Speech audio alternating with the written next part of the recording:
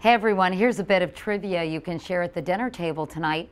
Every day for the next 18 years, 10,000 Americans will turn 65.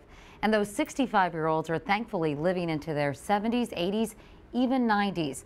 We've added 30 years to our average life expectancy since 1900.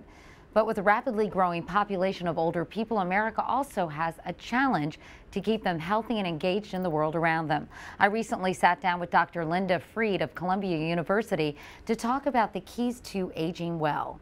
The things we can do, first of all, is to invest at every age and stage of life in health preservation.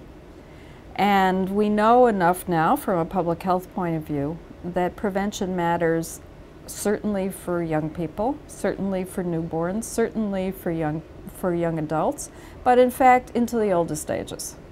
And so learning how to implement that for ourselves, to do things like healthy eating and staying physically active, but also not being socially isolated, staying engaged and doing the things that one cares about into the oldest ages actually all matter in terms of health.